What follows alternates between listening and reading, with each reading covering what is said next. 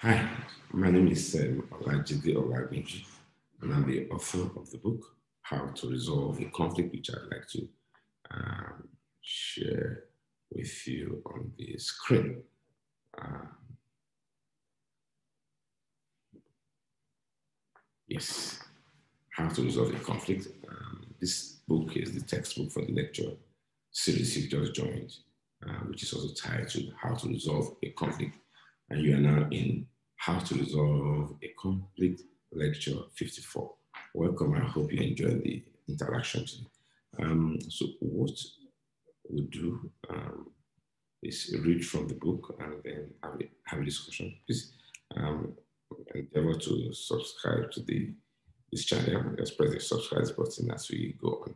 Now, um, we um, discussing the mediator, the person of the mediator, his skills, his roles, and all of that. Um, and we, we're spending a long time on the mediator because the mediator is the anchor of the whole process of conflict mediation. Um, and so today we are discussing uh, transactional analysis, and maybe if we have time, we want to discuss um, what's called partner. Once again, welcome. Um, so I'll read transactional analysis.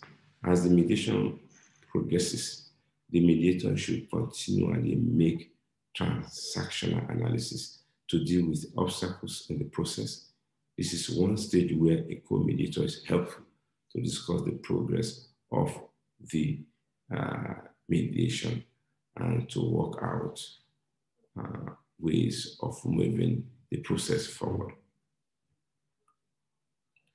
Okay, so transactional analysis, big word.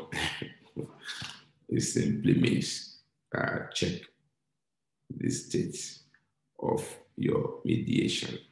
How are we doing this mediation? You need to check that. You're not asking the parties, you're asking yourself as a mediator. And that's why I guess it's good to have the, to use the 10 step mediation that I created uh, for conflict resolution.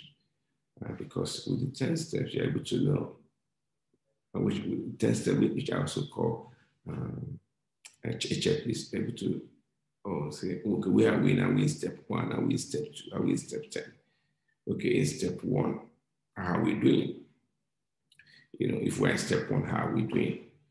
Are we doing what we should be doing? Okay, if we're in step two, how are we doing? Are we doing what we're supposed to be doing?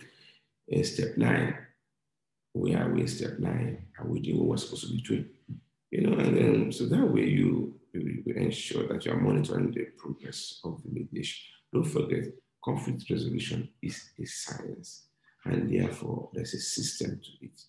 It is systematic, you know, and you can't jump a step. Um, I also mentioned that we do transaction analysis to deal with obstacles in the process. So, okay, where are we? We are here. Okay, what are the challenges? Where are we here? Where have we been here for so long? Okay, what can we do to take us forward, to move us forward? Uh, you know, so you need to be checking what you are doing. A mediator, a good mediator, should be able to explain where he or she is, why she is there. You know, somebody comes in, assuming, which will not be usual because it's a confidential process. Assuming somebody comes in and asks why are you doing what you are doing, you should be able to say we are doing what we are doing because this is where we are in the process. And this is what has to be done this, at this stage. And this is why it has to be done. You know, and this is where we're going. It's, that's what makes it. It, it, it, it, it, it, flows. It's not haphazard. Uh, you can't take step 10 before you take step one. You can't take step eight before you take step six. Yeah, and so you need to be uh, sure you are doing the right thing. That's transactional analysis. I I give an example of one of my students that in real life mediation, you know, uh, well, before the mediation, himself and one or two other students and said, well, man, these 10 steps, uh, they are too long. so I think they tried to uh, jump a step. Well, definitely this mediation I was watching, his mediation, he definitely jumped a step because he was probably a step nine or so. And then the party blew up on his face.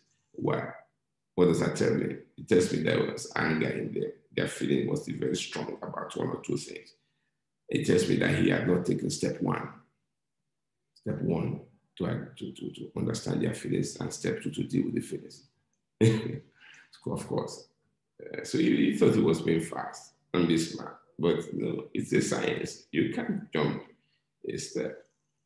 You know, of course, he would have had to go back and do the needful, which is to follow the process, follow the system.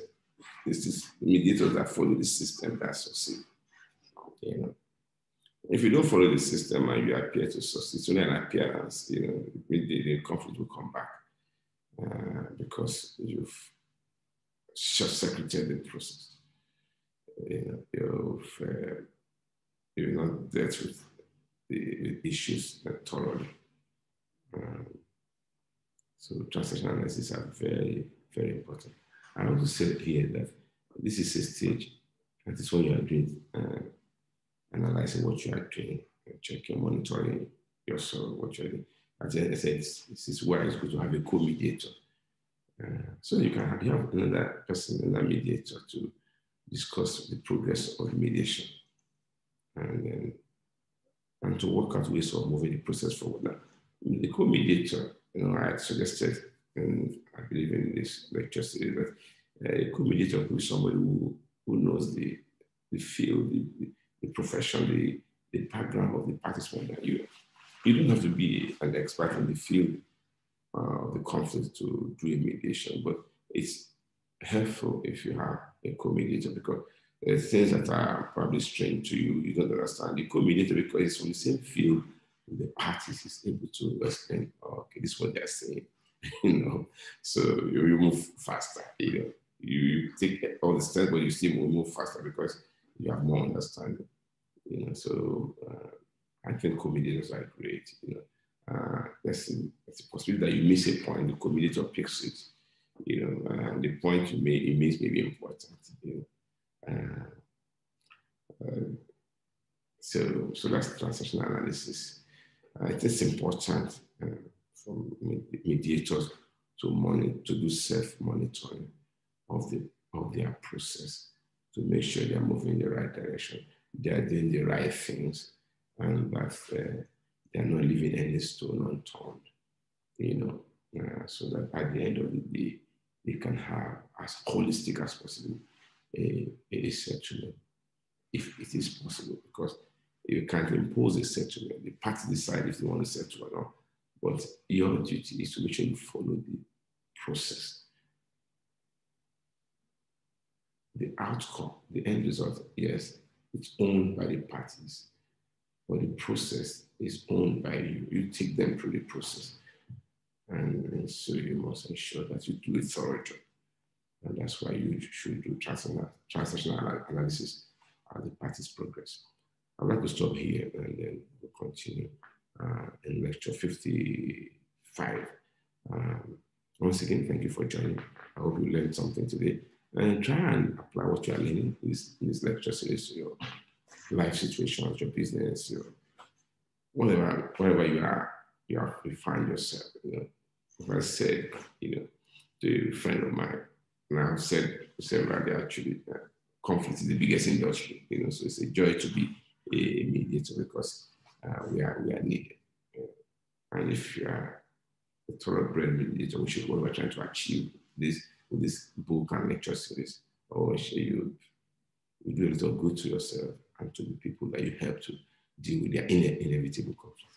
Thanks again. Uh, post your comments and uh, uh, I'll see you in lecture 55.